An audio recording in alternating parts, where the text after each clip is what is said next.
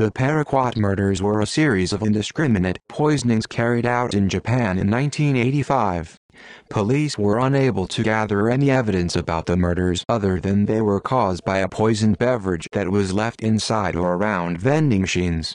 All the beverages were poisoned with the herbicide paraquat except for one which was poisoned with diquat.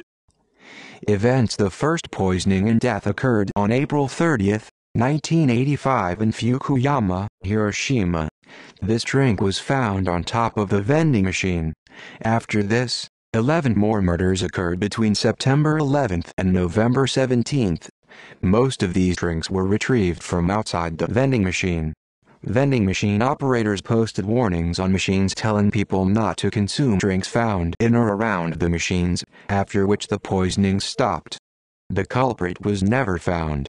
It was established that at least one other unknown person attempted to imitate the Paraquat murders by putting lime sulfur into drinks in Tokyo. There were also a small number of people who attempted to poison themselves in a method imitating the murders. References